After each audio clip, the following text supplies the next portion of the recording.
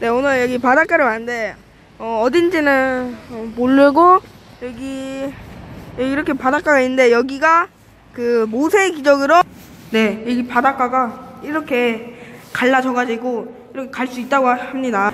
네 이렇게요. 그래서 한번 어, 오늘 아니고 내일 9시에 된다고 하니까 내일 한번 더 찍어야 돼요. 아 여기 어딘지 알았다. 무창포 해수욕장입니다. 너무 예쁜데요?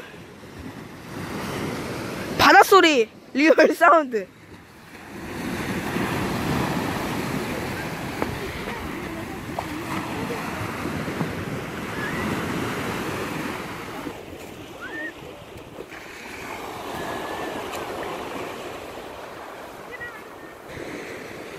여기에 다리가 있어요 다리. 이 저쪽. 저기 한번 다리 갈 거고요. 저기가 여기가 자는 곳. 때도 이름이 사고 예 이렇게 하고 살도 한번 더 떠주고 자, 왔던 길입니다, 여러분들. 했어요. 해봤습니다. 네, 제가 영상 이거 물이 빠지면 찍는다고 했는데 지금 물이 빠졌거든요. 아, 근데 좀 발이 너무 너무 싫었는데.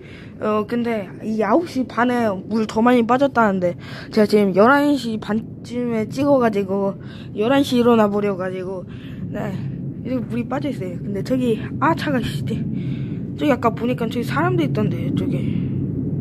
어, 화질이 안 좋다 이렇게 하니까 근데 어쨌든 물이 빠진 걸 보여드리고 싶어서 찍었습니다